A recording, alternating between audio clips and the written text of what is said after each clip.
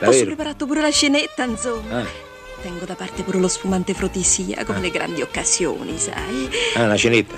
Ma tu gnocchi come li fai? E come li devo da fare? Con le mani? Ah, allora non è il caso, eh. Sarà per un'altra volta. Mi dispiace. Ciao, eh. Ciao. Non so capito il fatto degli gnocchi. I gnocchi poi li ho fatti io personalmente. Con chi ha fatti, signor? Beh, con le mani si capisce. Ah, beh. Eh. Sapete cosa facciamo